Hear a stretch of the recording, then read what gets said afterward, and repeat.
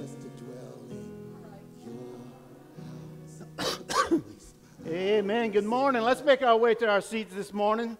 Let's give the Lord a hand clap of praise as we get started today. Amen, amen, amen.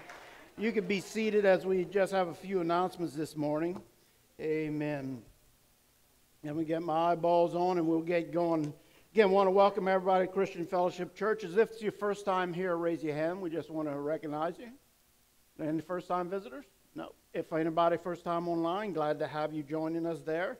Uh, if you have any questions, uh, anyone in here, you could uh, find the people with the name tags, the door greeters. They could kind of get you in the right direction of which way to go. Uh, we want to remind you to stay connected on uh, social media uh, ways with us. if you put that up there in your bulletin, you'll notice this QR code. Just scan it with your phone, and it'll bring you to quick links to our website, our Facebook page, where you could do prayer requests, different things you could give online, and YouTube. And I always say it if you don't understand this thing, ask your grandchildren, and they'll hook you right up. They understand that perfectly. So, uh, next thing is uh, tonight. Everybody say tonight. Is the men's fellowship supper. Woo, baby. We got gumbo and the word, but I don't know how we're going to do this. I don't know if we should go with the word first before the gumbo, because gumbo is like turkey. You eat it, then you go into a coma about 15 minutes later. And so maybe I could put some caffeine in the gumbo some kind of way.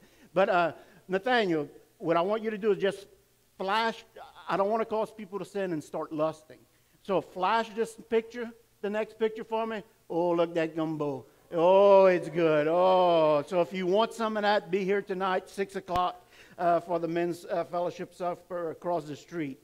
Amen. Uh, also, uh, this Monday, will be my sister's heart's book club uh, from on Monday the 28th from 5 to 8 p.m. So Monday tonight we have men's meeting. Tomorrow night is the uh, my sister's heart's book club. I don't remember what book they're reading, but that's a once a month thing. The book club is separate from the women's Bible study. And then on Tuesday, the ladies are going to meet again for uh, my sister's, uh, I mean, women's Bible study. They've been studying Lies Women Believe. Uh, that's Tuesdays at 6 o'clock. Uh, what's the lie this week? Emotions. Emotions. Believing the lies of emotions. Uh, and then uh, this Wednesday is our water baptism. So uh, Wednesday, 7 o'clock, we won't be having the other classes. We won't have youth and kids club that night. Uh, it's just be water baptism. We have several people signed up. Just a reminder, if you're going to be water baptized, uh, bring your form in that uh, you, you pick up on this back wall here if you didn't pick one up yet. Uh, a change of clothes. Come, you could actually come in the clothes you're going to be baptized in. Uh, a change of clothes, a bag, like a plastic bag to put your wet clothes in after, and then uh, a towel to dry yourself off. So uh, this Wednesday night, water baptism. Excited about that. We got one of our candidates right there. So glad to have uh, Alexa's going to be getting baptized. Let's give the Lord a hand clap in advance. We have several people signed up. So, again, come on out that night, support them. What we do is have a 20 minute, uh, at 7 o'clock, we'll have about a 20 minute teaching on what water baptism is, and then we go in for the dunk. Amen. So, just want to encourage you, come on out for that.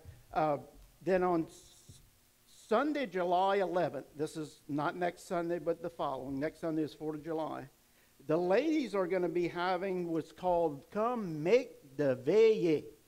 Uh, uh, you see, the older people know that old French word, make the veillée. Sister Hazel just put a smile from ear to ear right there. Come make the veillée. They'll be serving coffees, coffee and cookies uh, in the uh, cafe area at 2 o'clock.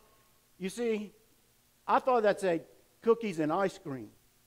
I went to Walmart and bought me a nice little sundress, and I was going to show up to make the veillée, but I'm going to return it. it. It's not. It's coffee and cookies. I thought it was cookies and ice cream. I was coming, but uh, that's just open. There's no agenda. They're just going to get to know. Again, we say uh, our first step is connect with God and His family. And you need a supporting cast around you of Christian friends that'll help you when you're going through things. So go make the veillée.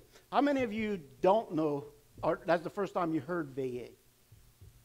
Most of you have heard it? Okay. I know the younger generation uh, doesn't hear the French. Uh, I, I was thinking about that word when, when they told me that. I, it like brought back so many memories of because my, my grandpa, my papa, and my daddy just used to talk French to each other, and I miss that. You don't hear it anymore. Uh, so uh, just a little little bit blast from the past, we could call that. So uh, just want to wish anyone having a birthday between now and next Sunday, happy birthday. Anyone in here? Right there. Happy birthday to you. Sister Jay is going to be having a birthday. Happy birthday to you. Anyone else? All right, if you are online, uh, happy birthday to you. What about anniversaries? Anyone having an anniversary between now and next Sunday? Going, Brother Junior, what? A birthday or anniversary? Anniversary. Happy anniversary to you. Amen. Let's give the Lord a hand clap of praise there. Amen. So, uh, if you are online, we just want to wish you happy anniversary also. So, what we're going to do right now is receive our tithe and offerings. And first thing I want to do is let you know how you can give. Amen. You can, if you're not here, you can mail it to Christian Fellowship Church, Post Office Box 1427, Larose, Louisiana 70373. Or you could give online at www.welcometocfc.com. Or you could text to give uh, to that number there. Again, if you're watching this video later, you could just hit the pause so you could get the number to text to and set it up. Uh, but if not, we would love you to be here to give. That's the best way to give. Amen. So let's stand to our feet as we uh, read our scriptures for our offering this morning. Excuse me. We got three scriptures we're going to read. Uh, this is Good News Translation. Proverbs 19:21 says, "People may plan all kinds of things, but the Lord's will is going to be done." Romans 8:28 says, "We know that in all things God works for the good of those who love him, those whom he has called according to his purpose." And I want to just stop here for a second. We know that in all things God works for what? Good. That doesn't say that all things will be good. See, a lot of times people think, oh, everything's just going to be good and work out perfect. But in all things, God works for good. Do you know sometimes our bodies get sick and we have to go through surgery? Anybody in here ever been through a surgery? Right? Go, Brother Adams, blowing the shofar before we start. right? Surgeries can be painful, but it's for your good. See, sometimes God has to remove things from our life or place things in our life. And those things that are painful are sometimes used for our good. So it doesn't mean that everything's going to be good, uh, that everything's going to be perfect in our life. Uh, 1 Peter 5 7 says, Leave all your worries with him because he cares for you. Amen. So take your offering in your right hand and repeat after me this morning. Say, As I give in today's offering, I recognize that God is sovereignly involved in directing my life. I understand that I may make my plans, but it is the Lord who directs my feet. God carefully oversees all that happens to me. No event or no experience escapes his attention. I give today with a confidence in the sovereignty of God.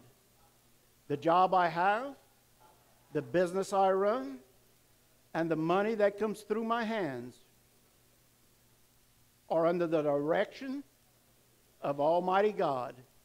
It is not luck, it is not chance, it is God working on my behalf. In Jesus' name. Amen. So if you would, let's give the Lord a hand clap of praise. If you would, we, we got three baskets along the front. Just make your way on up and place your offering in one of the baskets.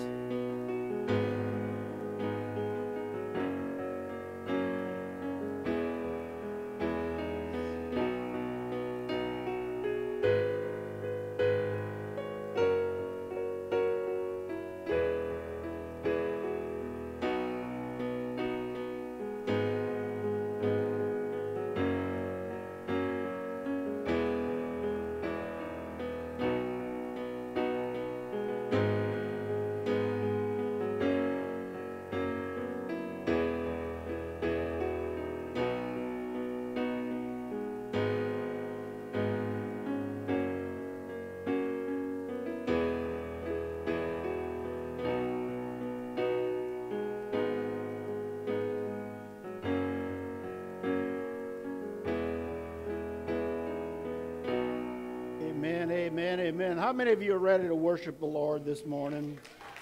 Amen. So let's stand to our feet, uh, the rest of us, and as we have our call to worship this morning. Our call to worship for the month of June is Psalms 105, verses 1 through 3. This is the message paraphrase. Again, uh, I know I've said this many times before, but the message uh, version of the Bible is not a translation, it is a paraphrase of it. Okay, so it's not an accurate uh, translation of it, but it, it is easy as a new believer just to begin reading it so you start to understand things. So it says this Hallelujah. How many of you know what hallelujah means? It means to give praise to God, to give thanks to God. It says, Hallelujah. Thank God. Pray to him by name. Tell everyone you meet what he has done. Sing him songs, belt out hymns, translate his wonders into music. Honor his holy name with hallelujahs. You who seek God, live a happy life. Father, we just come to you this morning. Uh, we turn this entire service over to you right now, Father. We ask that you have your way in this place. Fill this place with your spirit this morning, Father God, as we worship you in Jesus' mighty and precious name. And everyone shouts, Amen. Let's put our hands together and worship the Lord.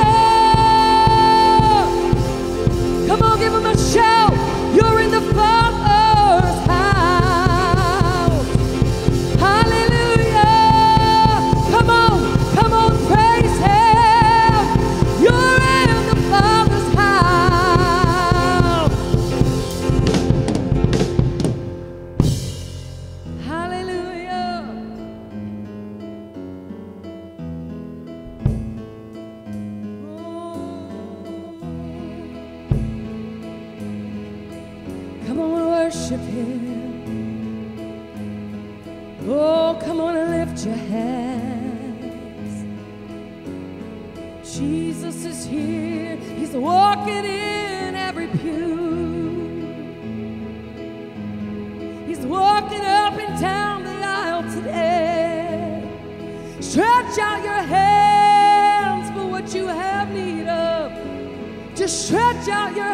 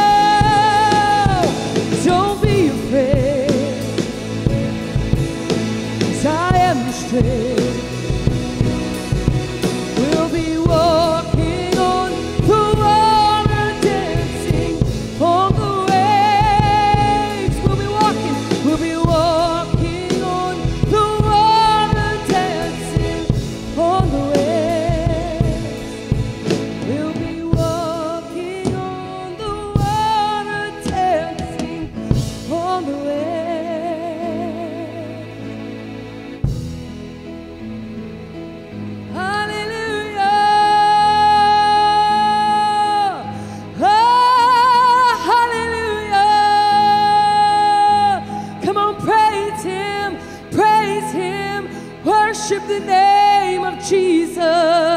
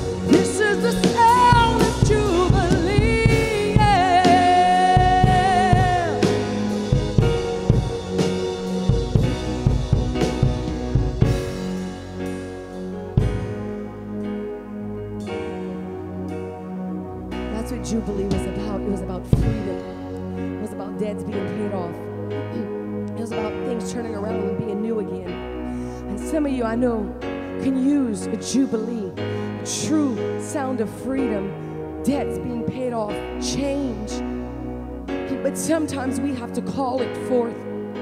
Sometimes we have to speak it and declare the freedom for the, for the children of God. Sometimes we have to call it forth, declare it, and prophesy freedom when you can't see it, joy when you don't feel it, your debt's paid off when your bank account is dry.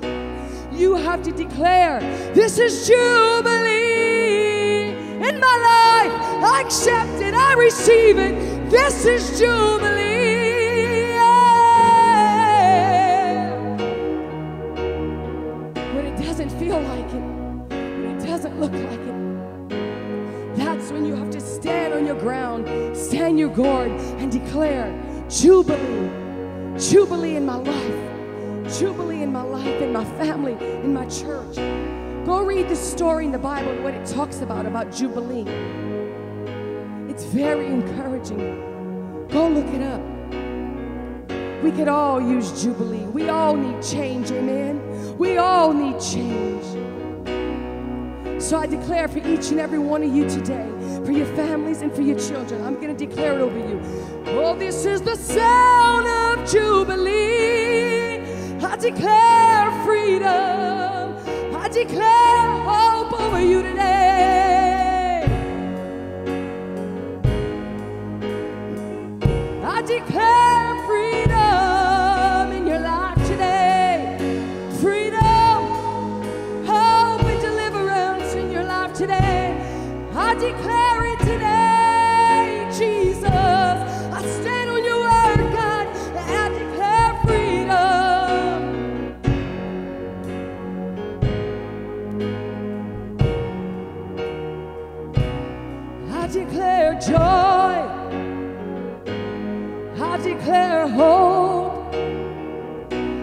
Declare your peace, oh God.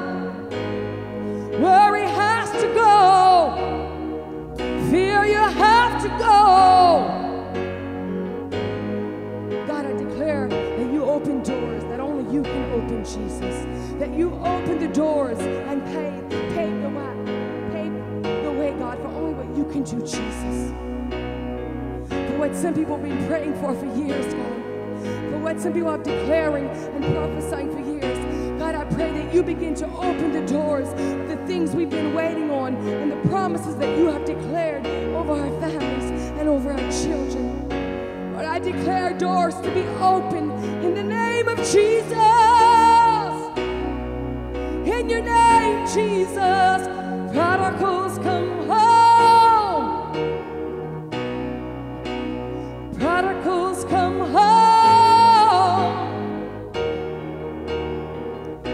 Open the eyes of the blind, Jesus. Change the heart of those whose hearts are hard toward you. Lord, have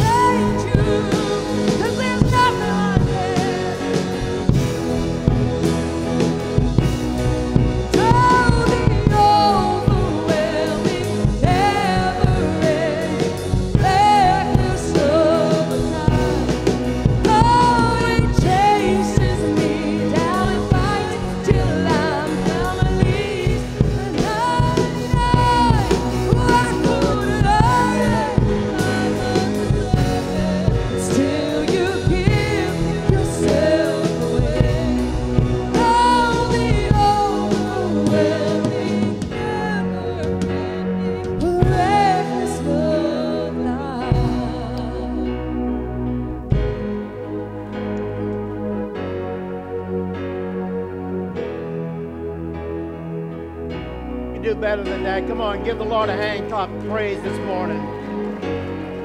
Thank you, Lord. Nathaniel, put that verse, not the last one, the one before that one. I love this. The overwhelming, say those next two words, never ending, reckless love of God. Oh, it chases me down, fights till I'm found. He leaves the 99. Can I tell you that you, we don't earn God's love in any way? We don't deserve it. God loves you just the way He found you. But can I tell you this? He loves you too much to leave you that way. You hear me? God loves you and accepts you just the way He finds you. But Jesus says that the enemy comes to steal, kill, and destroy your life, but I have come to give you what? Life. And that's where he finds us and he gives us salvation. But he says, I love you too much just to leave you the way I found you. He says, I want you to not only have life, but I want you to have life to the full. See, How many of you glad that God loves us too much to leave us in our hurt and broken state in our life? That He wants to heal us, deliver us, and set us free. He loves you too much. If He didn't love you that much, He'd just leave you and say, Fini. But He's not finished with us. He, we are a constant work. Amen. Amen. So let's give the Lord one more hand clap of praise. Amen. Want to go ahead and dismiss our Club 345 and our new generations uh, kids back there. Let's give them a hand clap of praise. Good to see them this morning, everyone there. Amen. I forgot to turn on my lights so you could see me. Amen. Did somebody just say I look better in the dark? Who said that? No. Amen. If you would get out your notes as we get started this morning. Amen. I got a, a word the Lord gave me entitled Fight the Good Fight. Amen. Amen. Amen. Amen. Amen. Amen.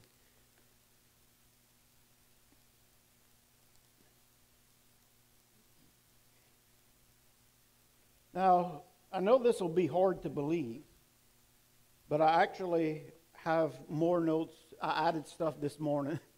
I, I, was thinking about doing more than one part to this message. I didn't know if I could fit everything in one uh, message.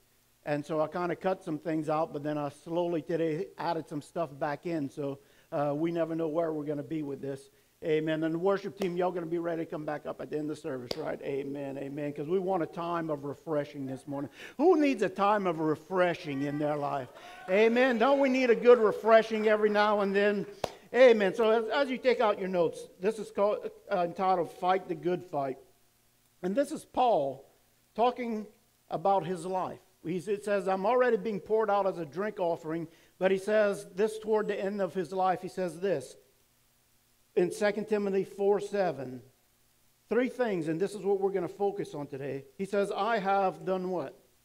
Fought the good fight. I have finished the race, and I have kept the faith. And this is, needs to be our declaration that, you know what, we're going to fight the good fight. We're going to finish our race, and we're going to keep the faith. That you, can I tell you something? You're in a battle, you're in a fight. You may not know that, you may not realize that, and hopefully today, by the end of today, you're going to realize that, that the devil's not happy that you're serving God. Can I tell you that? He's actually more going to try and get you for serving God because he doesn't want you to be healed. He doesn't want you to be delivered. He doesn't want you to be set free. He only comes to steal, kill, and destroy. He wants your life to be miserable so you don't share the gospel, don't share everything with other people. He doesn't. You're in a fight, but it's up to us.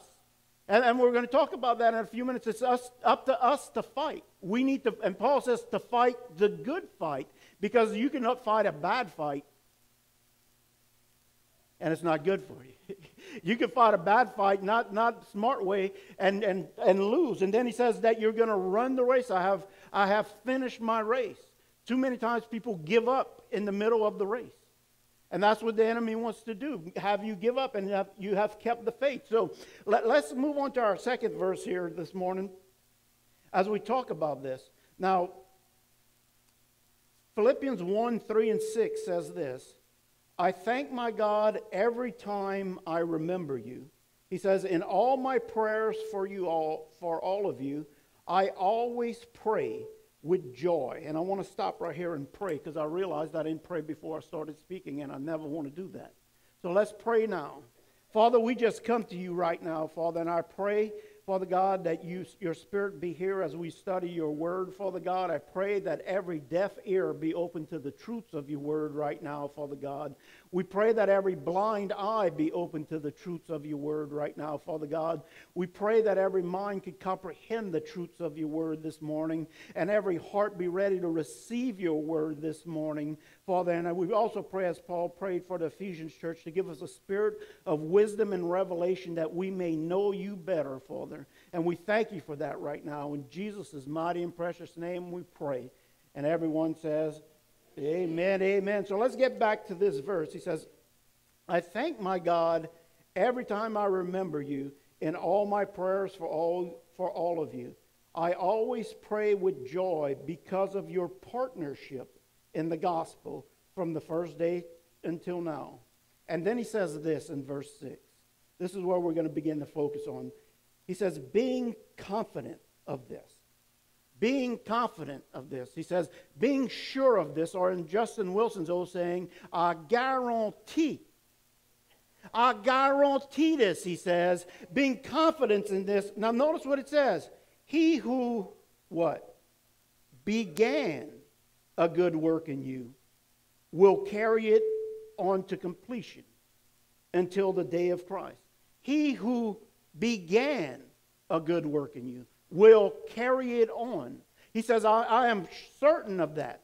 And, this is what I want you to understand. You're not, uh, he who began a good work in you, when you're saved, you're saved.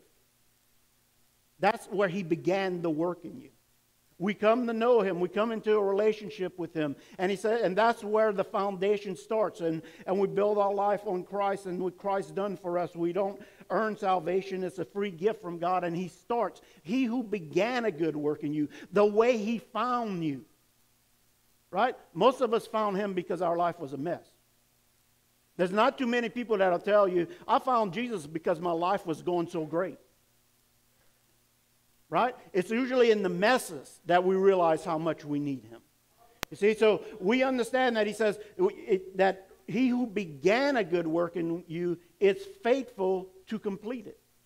See, in other words, it began here so you have life, but He says, now I want you to have life to the full. I, I want to heal you, I want to deliver you, I want to set you free. I want to place joy in your life, I want to place happiness in your life says you've been struggling too long and God loves you too much to leave you the mess that He found you in.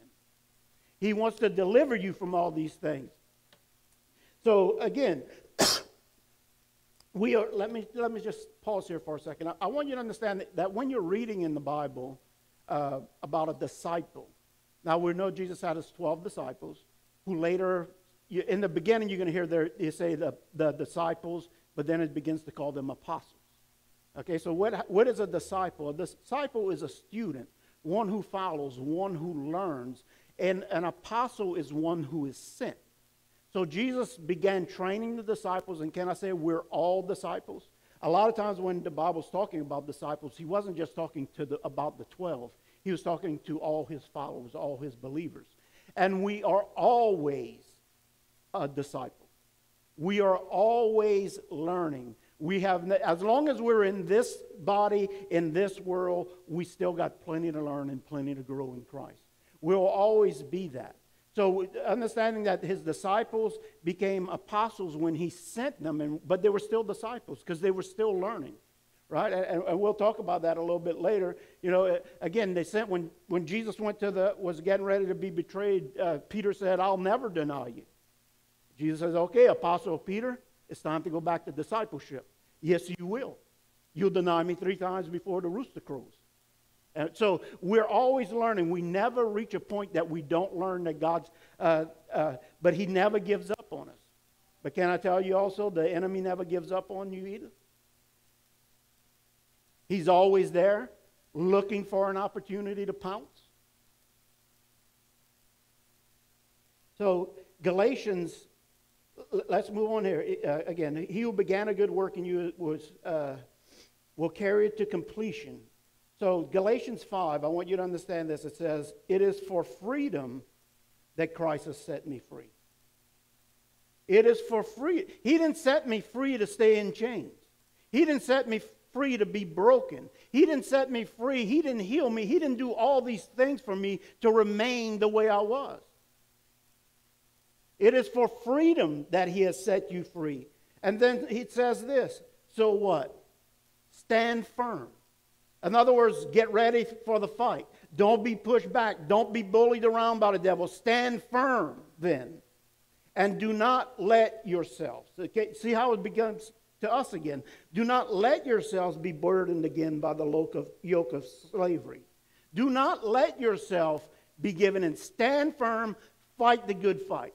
Because the enemy's coming, but it, you, greater is he who lives in you than he in the world, that he that is in the world. So we need, we know we need to fight through him with his powers, not by might or power, but by my spirit, says the Lord. So the spirit of God works in us, and and this is what I want to talk about here. Galatians chapter 5, 22 through 25. Excuse me. The, I want to just read the very first four words here and then we're going to uh, continue. But the fruit of the Spirit I better learn how to count. That's seven, eight words. I'm sorry.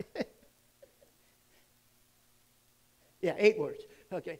But the fruit of the Spirit is love. And we're going to stop here for a second. And we're, we're going to read this, uh, the rest of it, uh, in a few minutes here.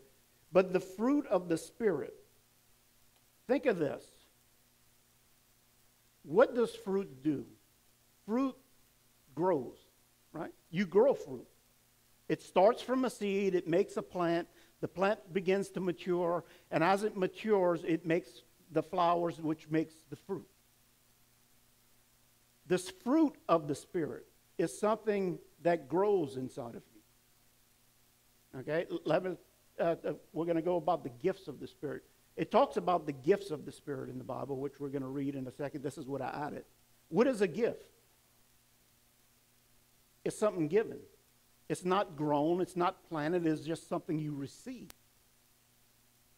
So the fruit of the Spirit, and, again, they're all important. The gifts of the Spirit is very important, but I'm going to show you through God's Word where the fruit of the Spirit is more important to God than the gifts of the Spirit in your life.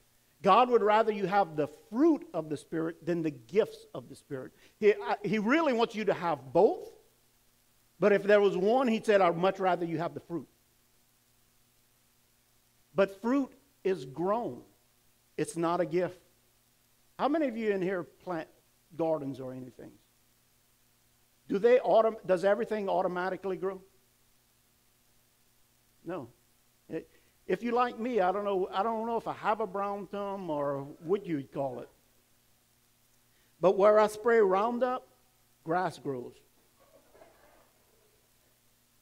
Would I till and put fertilizer and water?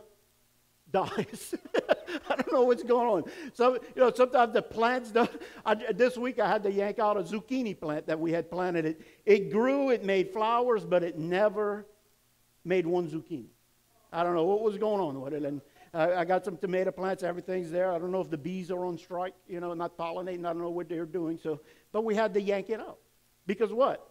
What good is it if it's not going to produce fruit? Or vegetables. I guess that's a vegetable, right? You, you plant things to, to grow, to produce. And God plants His seed, His word in us for it to grow. Now, how many remember the parable of the seeds, which is the word of God? It says some were some seeds were scattered, some fell along the path. Okay? And the path, Jesus says, was hard it, it, the things came, and the, it says the birds came, the enemy steals it. So sometimes we have to be careful that when God wants to put the fruit in our life, the enemy comes and steals it. Before it has a chance to mature and grow, the enemy comes and steal that, steal it. The second thing says some fell on rocky soil. So it didn't have much root. So when the scorching heat of things came, it disappeared. It, it didn't uh, last. Others uh, uh, fell on the uh, good soil, it was the third one, but the others fell along among the thorns. And it says that as it was trying to grow, the worries of this world, the worries of wealth, the worries of all these things choked out what the seed was trying to produce. And so we understand that, that the, the, the seed of the Spirit that is planted in us to grow and produce these things that God wants in our life sometimes gets hindered because of its uh, the enemy comes and steals the, uh, the rocky soil. There's not much roots, and when pressures of life come, and then the worries of this world keeps these things from uh, manifesting in your life. But God wants to grow those things in your life. Again, the fruit is something grown. It's not that you automatically have it. It is something we have to nurture, something we have to take care of. And this is all part of God beginning and completing a work in you. That's why he, he needs to work in your life. Sometimes he, you know, you need to take out the, the hoe and chop up the ground sometimes in our life. Sometimes, so sometimes he's trying to nurture these things in our life, and he has to do things in our life to cause these things to grow. so let me take you to the gifts of the Spirit from here, which isn't in your notes, okay? These are one of the things that I've added. Romans 12, chapter uh, 12, verses 6 through 8 says this A gift, again, is what? Given. It's not something that grows, it's given. We have different gifts according to the grace given to each of us. What is grace? Something you don't deserve.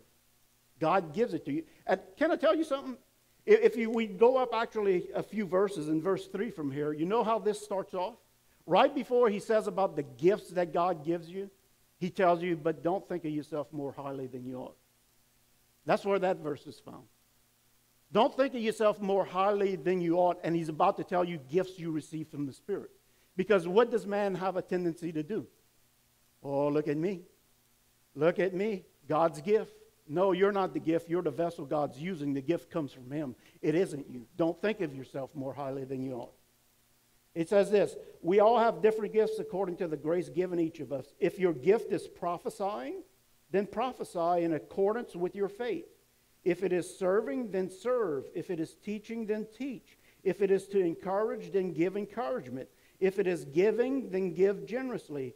If it is to lead, uh, lead or administration, do it diligently. If it is to show mercy, do it cheerfully.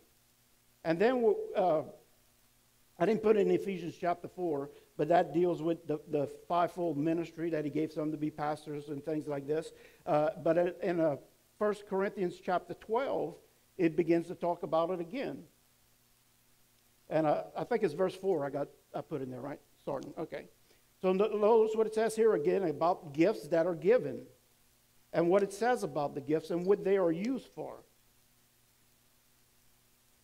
There are different kinds of gifts, but the same Spirit distributes them. It comes from the same Spirit, the Holy Spirit of God. It gives us the, these things. And then it says this there are different kinds of service, but the same Lord. There are different kinds of workings, but in all of them and in every one is the same God at work. So, what is he telling us there? There are different kinds of things, but it's all supposed to be used for, for God and God's purpose. So, he says all these gifts are supposed to work in unity together as one body to promote the kingdom of God.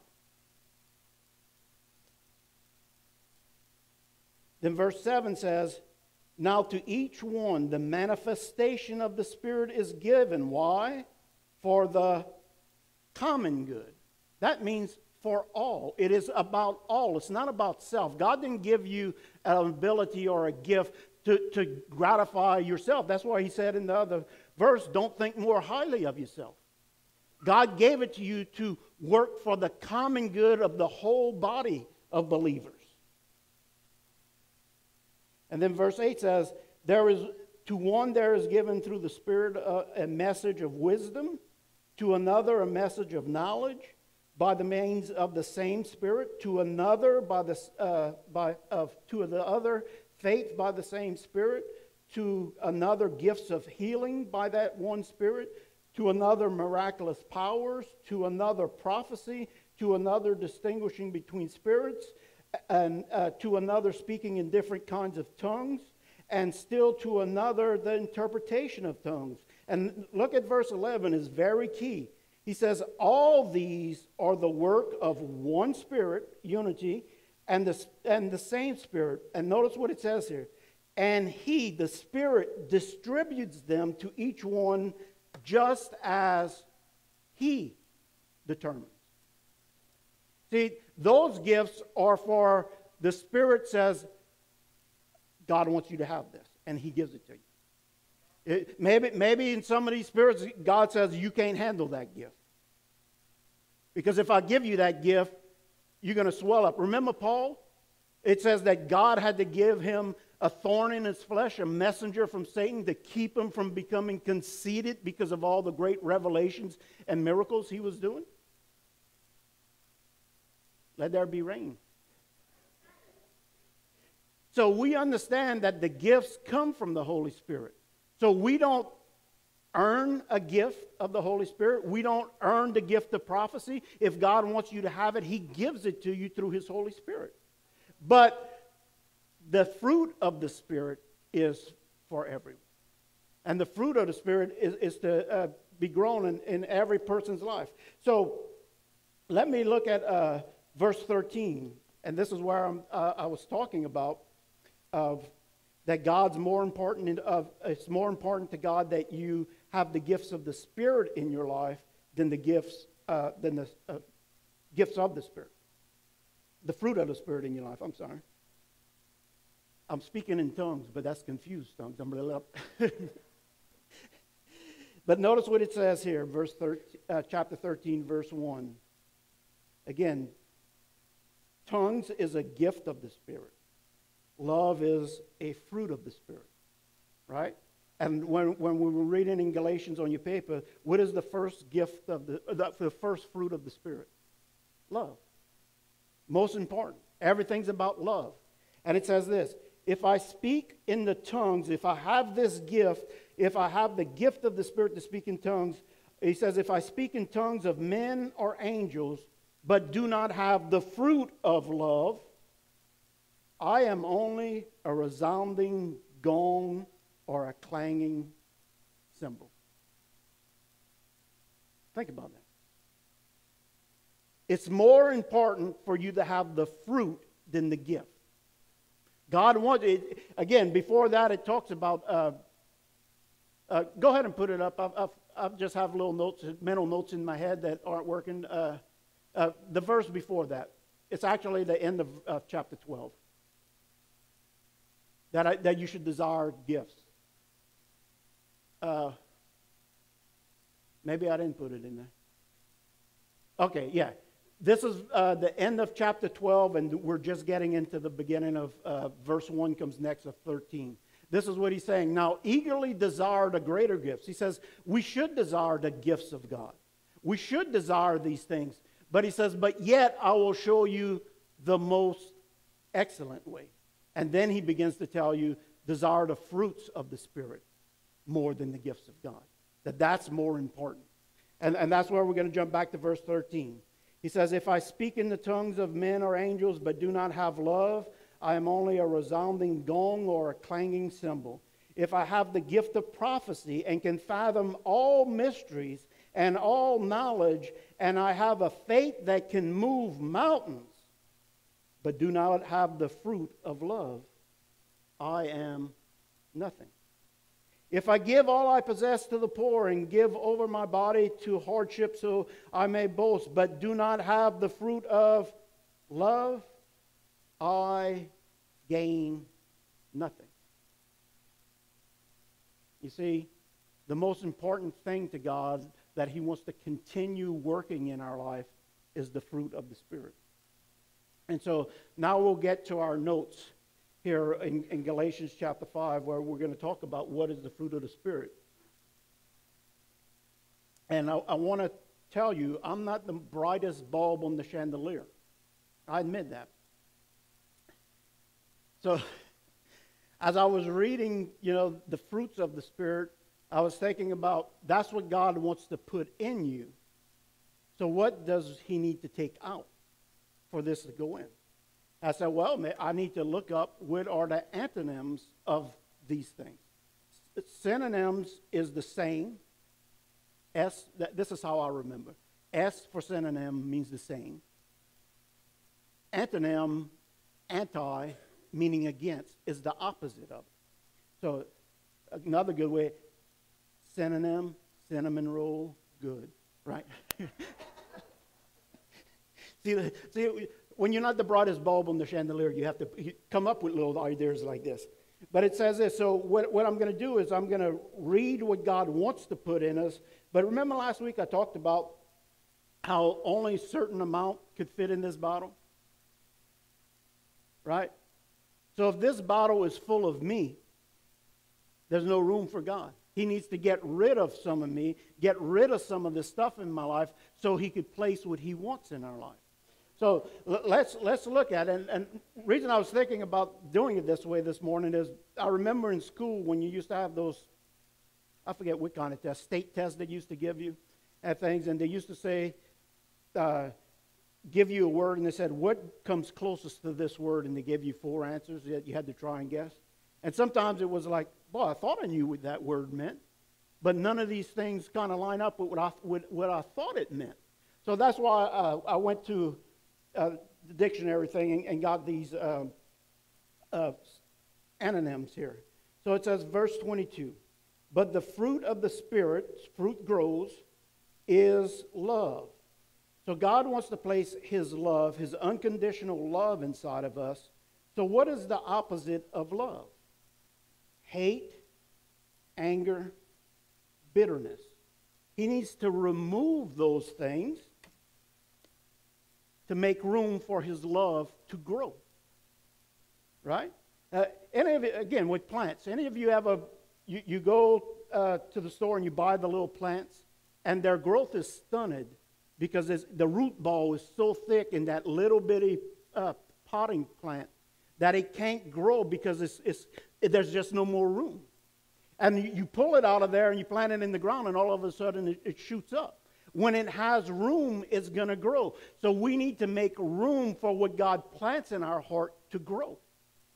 So he, he needs to, he wants love in our heart, so we need to get rid of the bitterness and anger. Then it says the next fruit is joy. So, joy, we know is happiness, all these things, but what is the opposite of joy? Agony, anguish, joylessness, sorrow, sufferance, woefulness, cheerlessness, dejection, depression. I don't know about you, but I'd much rather have joy than all that. I'd much rather have love than the hatred and bitterness. You see, God doesn't want to leave you in that state. He wants to heal you and deliver you from all that and have his, the fruit of the Spirit grow inside of you. And then the next one is peace. So, what is the opposite of peace? What does He need to remove from us to get peace inside of us? Conflict, contention, discord, strife, trouble, turmoil, unrest, upheaval, and fighting. Again, and they had so much more. I just condensed a little bit of it. The next one is forbearance. Forbearance means long suffering, in some versions of saying. It's meaning that you have patience to go through different things. And so he wants you to have patience because you're in the, in the fight of your life. And so, what is the opposite of forbearance? It is defiance, disobedience, insubordination, and resistance. He wants to place inside of us kindness, but he needs to remove callousness, coldness, disinterest, indifference, unconcern, cruelty, harshness, animosity, dislike, hatred, and hostility. He wants to plant inside of us goodness, and he needs to remove indecency, indiscretion, debauchery, perversion, sinfulness, crookedness, dishonestness, underhandedness, uh, corruption. He wants to place faithfulness inside of us, so he needs to remove disloyalty, faithlessness, falseness, false, falsity, uh, betrayal, uh, unfaithfulness. He wants to place in us gentleness, so he needs to remove harshness, inflexibility, rigid, rigidity, rigidness, uh, inconsiderate, uh, insensitive, thoughtless, crankiness, fussiness, grouchiness, grumpiness, irritability, stubbornness. Now, I know that sounds a lot like PMS. Uh, that, when I read that, I said, do y'all know what PMS means?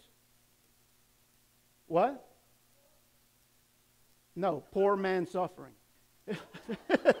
That's what PMS means. he, he, you don't have a good. Thank God my wife's out of that area in life. Amen. Hallelujah. Thank you, Lord. So, and, and then the last thing is self control. So, if he to put self control in our life, he needs to remove self gratification, self indulgence, excessiveness, overindulgence, shortcoming, vices, uh, weakness, indiscipline, and unrestraint.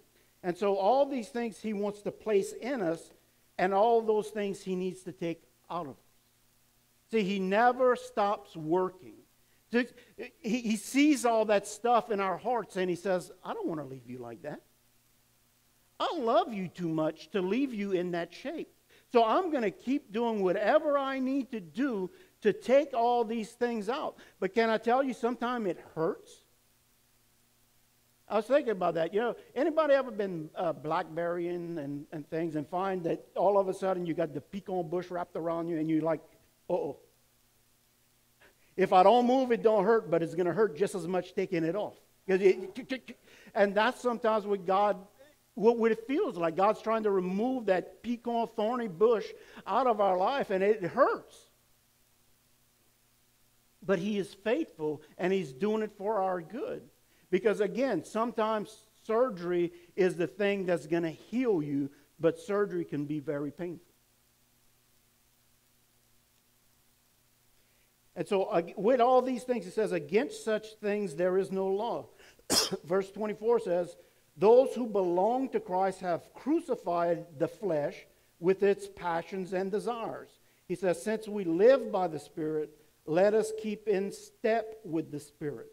Okay, so as we begin uh, talking about these three things again that Paul said, we know that God wants to work in our life, and Paul's given us encouragement to fight the good fight.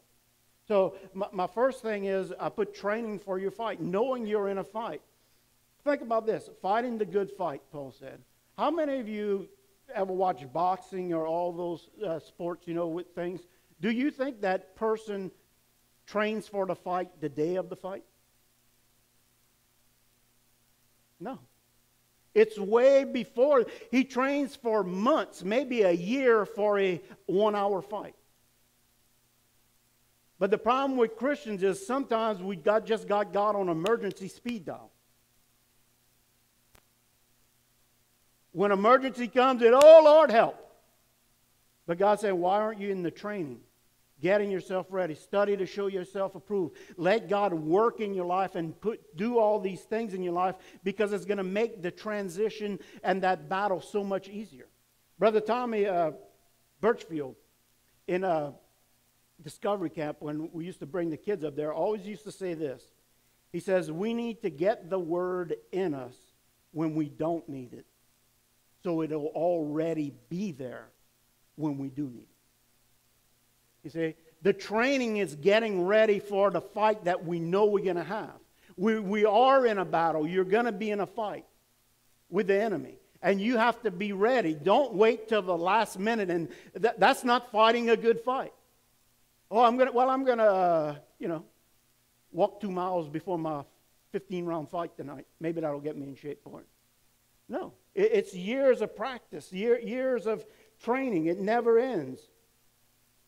So Jesus makes this statement, training for you fight, in uh, John 16 33.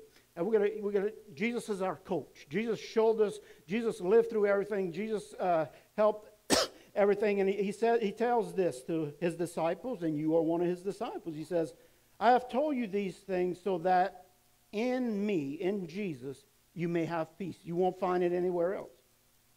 You can look to any, anything and anyone else, you'll never find that. It's only in Him you're going to find peace. He says, This is the one of the things I wish He would have never said, but He did say it. In this world, you will have trouble. You will have trouble, but He says, Don't worry, still have peace. He says, But take heart. I have overcame the world. I have overcome the world. In this world, you will have trouble but you could still have peace in me because I have overcome the world. Now, I think of, of the story when Jesus and his disciples were going across the lake at night, and here comes a big storm, the waves, things, and his disciples are all freaking out, panicking. We're going to die. We're never going to make it. And you know where Jesus, Jesus was? He was in a lounge chair in the back, on the back deck, snoring. But yet he was in the same storm, in the same boat as them. But he had peace. See, and that's the kind of peace he wants to give you. He's not saying you won't go through a storm, but he says in the middle of the storm, you could still have peace because you could trust in him. And so that I love how they, they, they call out to him, Jesus, help us, and he stands up and, oh, ye a little faith. He calms the sea. See, it tells us that even when our struggles and panics, we could still call to Him. But how many of you wouldn't have, would rather just be, man, here's this storm, but I have peace. He don't want you to live like, oh, it's Lord Jesus, oh, please, please, Lord, Lord. Help me, Lord Jesus. Oh, my goodness. Oh, not this. Oh, we're going to die. Right? How many of you would rather just be, God, you got this? My peace is in you. Training for that fight.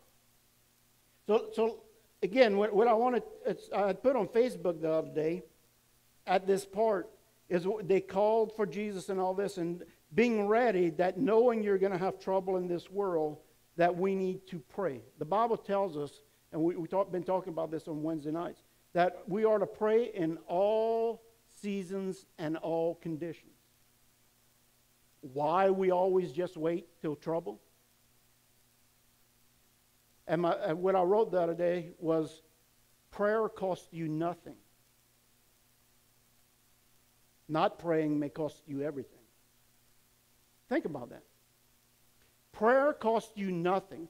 So why, when things are going good, we our prayer life slows down?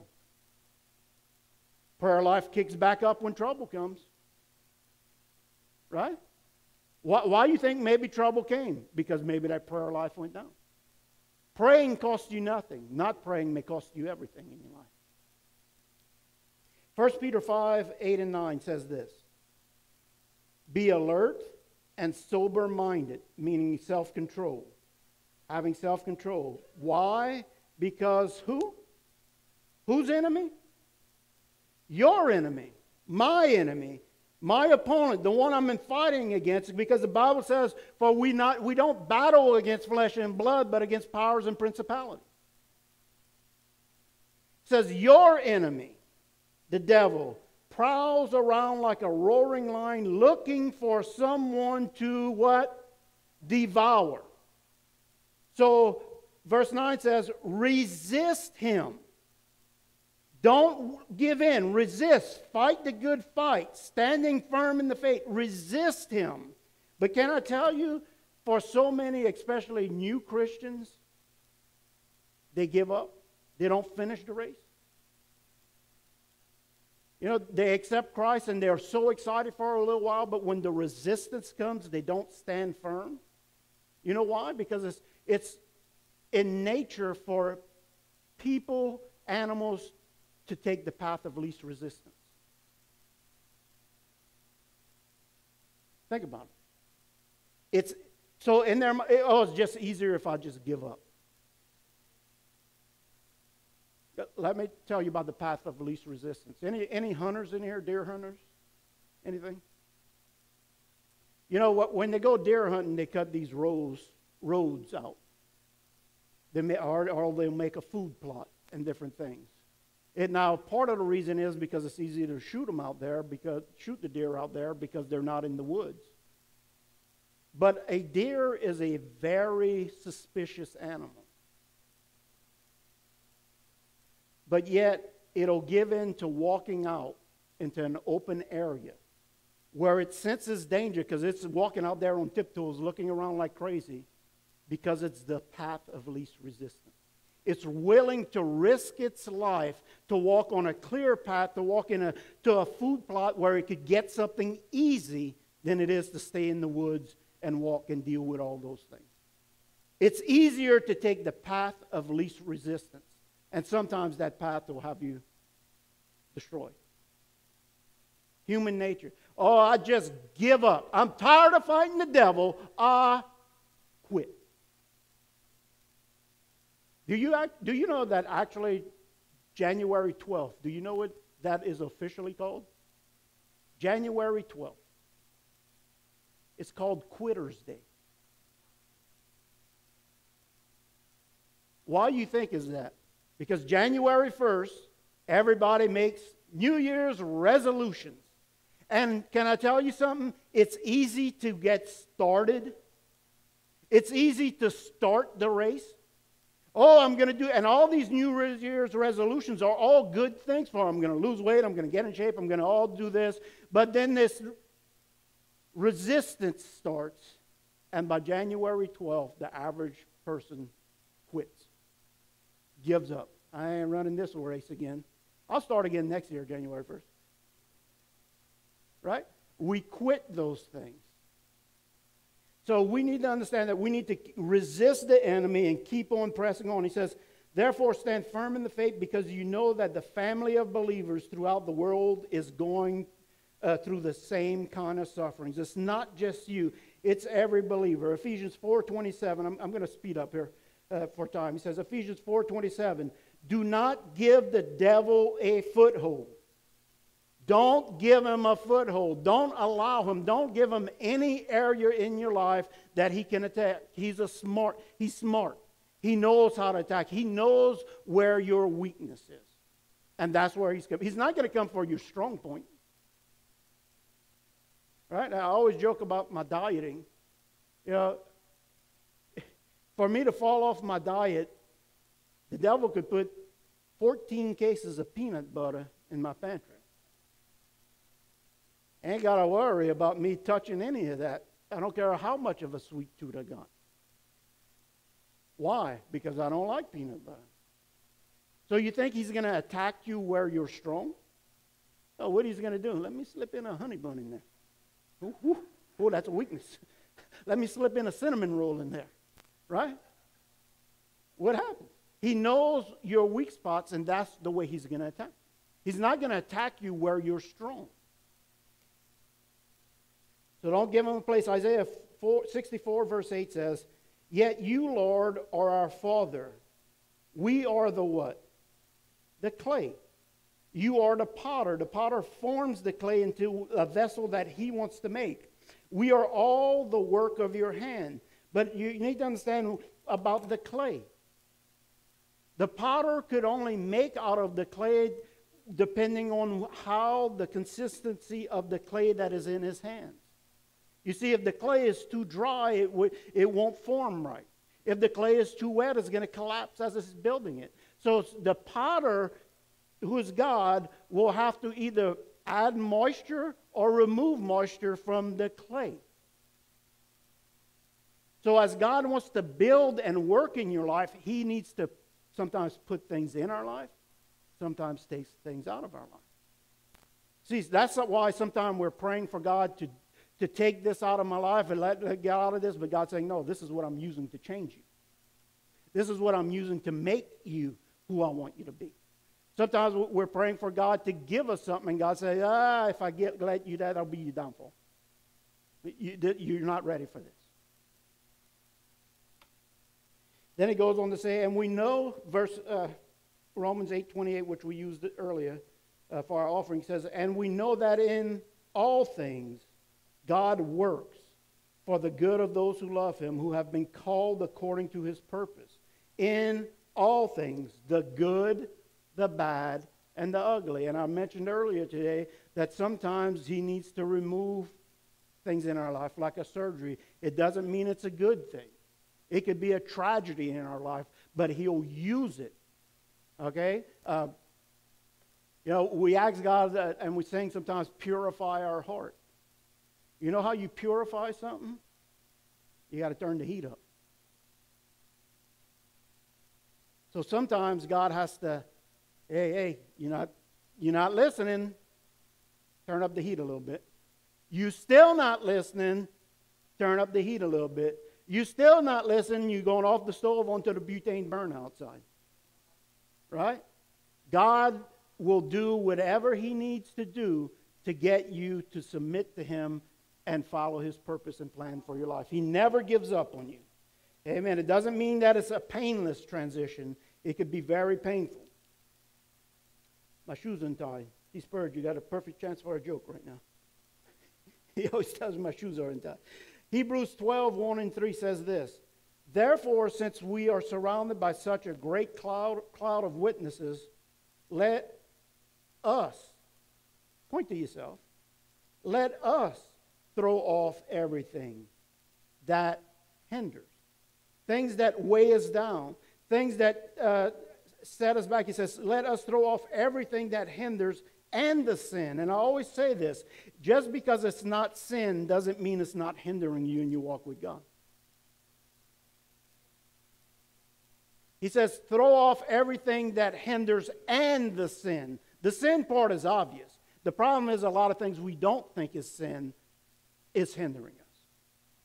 Then he goes on to say, and to do what? Run. Running that race again. Let, let us run with perseverance, which means you're going to have a fight. You're going to be through this. Don't give up. Run the race with perseverance. Keep on going. The race that is marked out for us. Each and every one of us have a race to run. Fight the good fight and finish your race. He says, and this is how we do it fixing our eyes on Jesus, the pioneer and the perfecter of faith. For the joy set before him, he did what? Endured the cross, scorning its shame, and sat down at the right hand of the throne of God. He went through, he fought the good fight, did what he had to do, he finished his race. Consider him who endured such opposition from sinners so that you will not grow weary and lose heart. If you lose heart, you end up giving up. Now, let me say this Jesus had 12 disciples, right? He's the potter, we are the clay. Out of his 12 disciples, 11 went on to be apostles. One did not. Now, was it that Jesus was not a good enough administrator, a good enough teacher, a good enough thing that Judas failed? Wouldn't it be ridiculous for Judas to say, Jesus, it's your fault? You didn't train me good enough? But yet 11 others moved on? What was wrong with Judas? He wasn't the right clay. See, Judas, it says he used to help himself to the treasury. Judas was still all about Judas. Judas never surrendered and gave everything to God. That's why. It wasn't Jesus' fault that Ju- Judas turned out the way he did. It was Judas was a, just a dry lump of clay that God could do nothing with. Because he, he chose not to get rid of those things in his life. He chose to keep them. It was all about him. He used to help himself to those things. And, and again, what, I'm going to sell them out for 30 pieces of silver. It was about Judas, Judas, Judas, Judas, not about Jesus. See, it wasn't Jesus' fault for Judas. We can't, sometimes people want to blame other people for their own faults. Amen. So finish our race. Galatians 5, 7 through 9. We want to finish our race. He says, You were running a good race. But what happened? Who cut in on you and kept you from obeying the truth? You were doing so good. That kind of persuasion does not come down from the one who calls you. And he says this a little yeast works through the whole batch of dough. He says, You better be careful what you're listening to. You better be careful who you're talking to. You better be careful because a little bit of yeast affects the whole batch of dough. He says, You were doing great. You were running your race, but you got tripped up. Philippians 3 12 through 14 says, but, and this is Paul saying, and this is where I said we're, we're still all disciples and we're going to remain that way. Not that I have already obtained all this. He says, God's still working on me. I'm still, I'm still a work in progress. We're all still works in progress. Or I have already arrived at my goal. He says, I haven't. He says, but what I do is I press on I'm not giving up. I'm not quitting. I'm going to press on to take hold of that which Christ took hold of me. And I love that statement to take hold of why Christ took, took hold of me. Christ took hold of you to set you free and to have you have a full, fulfilled life. So that's the reason he took hold of you. So take hold of why he took hold of you.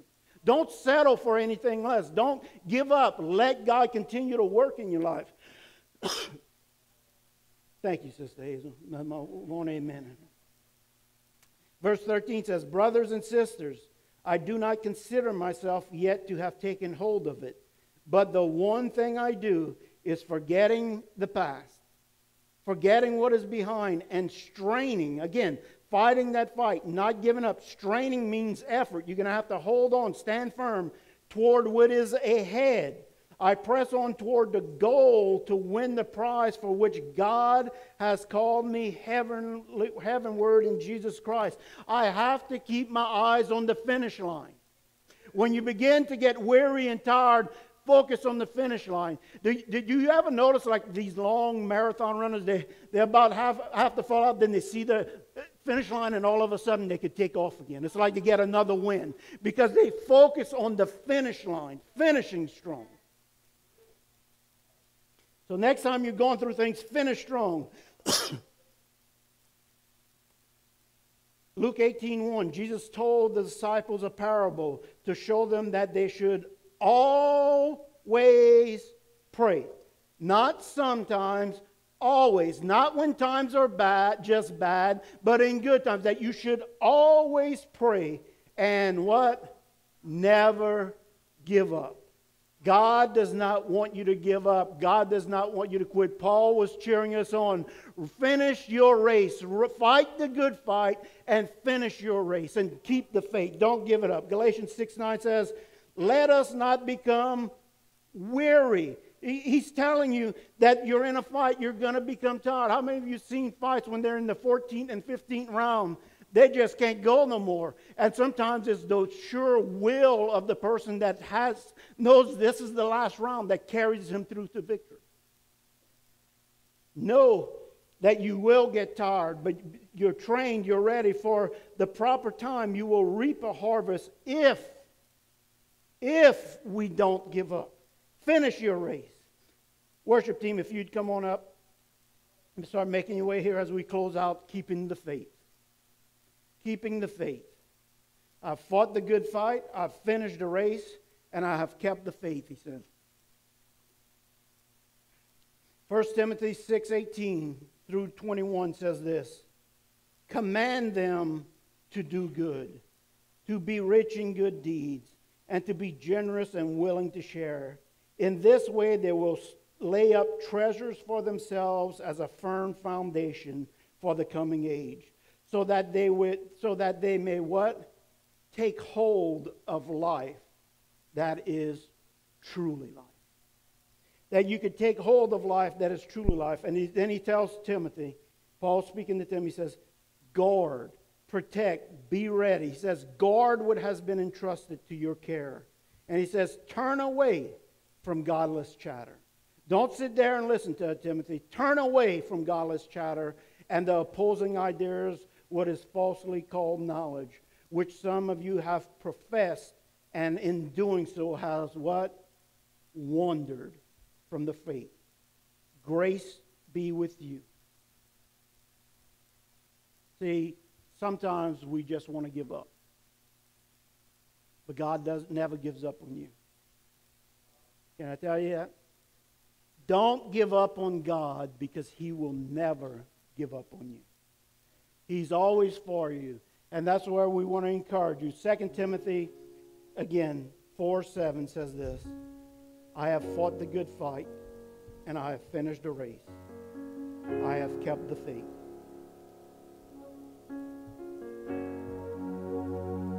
I know people get weary, people get tired. But God wants to refresh you, and He's saying, Don't give up. Don't give up. He is for you. If He is for you, who can be against you? Fight the good fight. Know you're in a fight and fight the good fight. Finish your race and keep the faith. Because my eye is on the finish line. No matter what troubles this world sends us, my eye is on the finish line. I can have peace in the middle of a storm where chaos is going around, I can live in the peace of Jesus Christ. So if you want a refreshing today, we're going to worship with a song called This Is How I Fight My Battles. See, the Bible tells us three things, important things in a Christian's life, is we are to worship and praise God for who he is and what he does. We are to get in his word and study his word so our mind is changed and we are to pray and never give up. So if you want a refreshing today, I ask you just to stand to your feet. I ask everyone just to stand to your feet. Suzanne, if you turn that light switch off right there for me. I ask you to come down to the altars. Pastor Allen, if you would help me. We're just going to anoint you with all for our time of refreshing. You've been weary, you, you feel like giving up, or maybe you not don't even feel like giving up. You just say, I'm ready. I'm ready to go. Like, I, pass the baton. We're running a marathon, uh, one of those uh, relay races, and I'm ready to take the stick. Let's go. I'm ready to move on. Amen. Pastor Allen, come on with me. Come on. Make your way to the front for a refreshing this morning.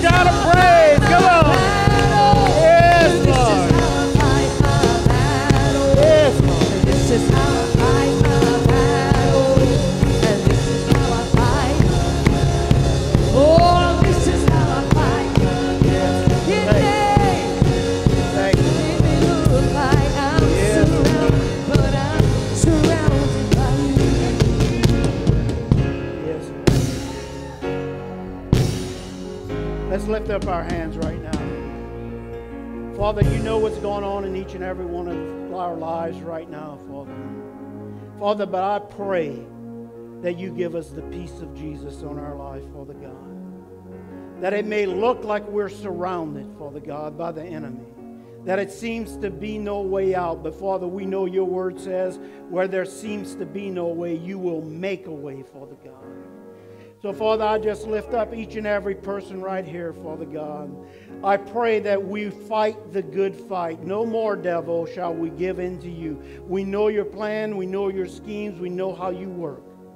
We're going to stand firm, we're going to resist him. We resist you, Satan, right now. I pray right now that every plan, trap, or snare that has been placed upon your life would just fail right now. And I speak the blessings of God upon your life right now, that you have healing, deliverance, and freedom right now in your life, in every part of your life, that we're going to be able to run our race and finish our race because our eyes are going to be fixed on Jesus, and He's there at the finish line waiting for us and we're going to keep the faith. We're never going to give up. We're never going to quit. From this day forward, in Jesus' name we pray. And everyone says, Amen. Amen. Let's give the Lord a hand clap of praise this morning. Amen. Amen. If you've if you've never been water baptized or if you've given your heart, you just want to look a whole new refreshing. This Wednesday night, come on out for water baptism. You didn't have to sign up already. You could fill out the form that night. Amen. So we'll see you then. God bless you. We love you. Fight the good fight. Amen. God bless you.